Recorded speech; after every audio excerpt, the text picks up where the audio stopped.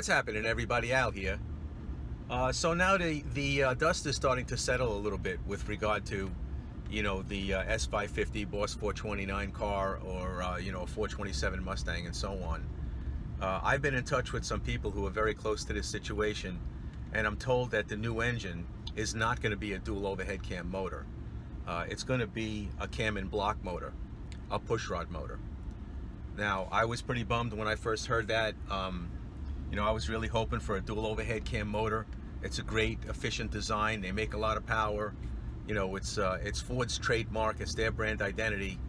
You know, so I'm, I'm a little upset that they're abandoning the idea of building a dual overhead cam engine for the for the trucks and, and for some other specialty vehicles. But you know, it's uh, it's going to be a pushrod motor. Um, there are some advantages to pushrod motors. They're cheaper to build. They're more compact. Uh, they're lighter you know, there's lots of good things about it. The the um, the LS guys are very quick to point that out. But uh, I, I really find it hard to believe that Ford is going to go back in time and just build a, you know, an old style pushrod motor. I've been in touch with somebody who's very close to the situation. Uh, he, inf he informed me that he's actually seen this new motor and it looks very much like a 385 series Ford Big Block from years ago. You know, a 429, 460 type motor.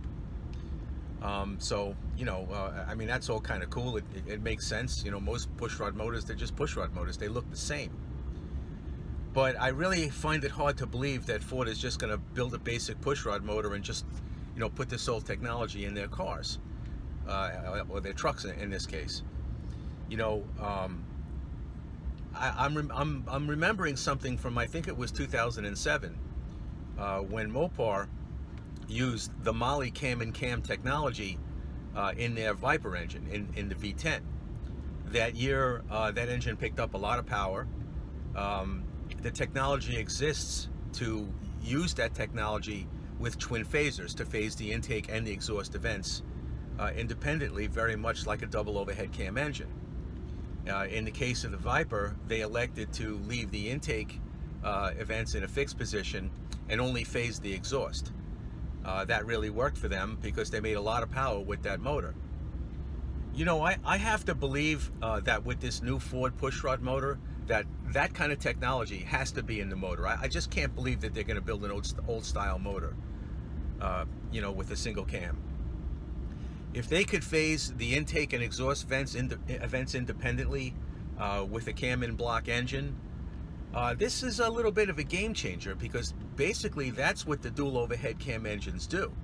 They're able to do that uh, because the, the, you know the intake cams are, are separate from the exhaust cam, so they move them around independently, effectively changing the lobe separation angle of the cam at any point in the RPM range.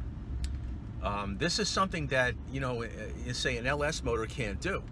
LS motor's got one cam, solid cam. The lobes are in a fixed position relative to each other.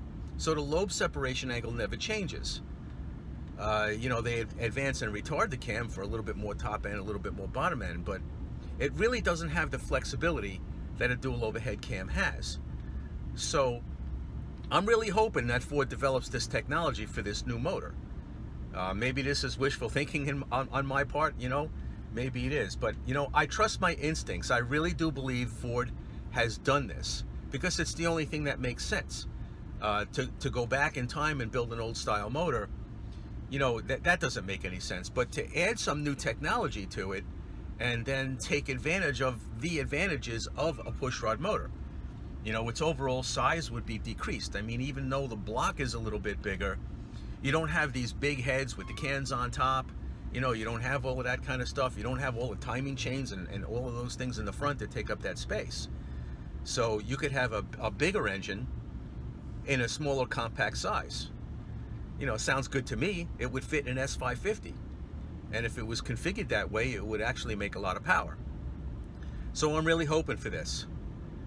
Um, you know, if it doesn't happen that way and they're just building a big old torque motor for a truck and, and uh, doing it that way, well, if they do that and they just drop this motor into a into a Mustang and call it a Boss 429, I can't see that this car is going to perform any better uh, or probably not nearly as good as a GT500 or a GT350 or even a finely tuned, you know, Mustang GT.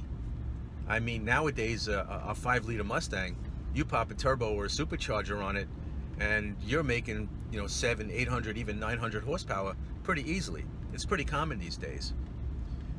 So, uh, you know, we're just going to have to see what happens. I'm, I'm really hoping uh, that Ford uh, has got something up their sleeve on this one.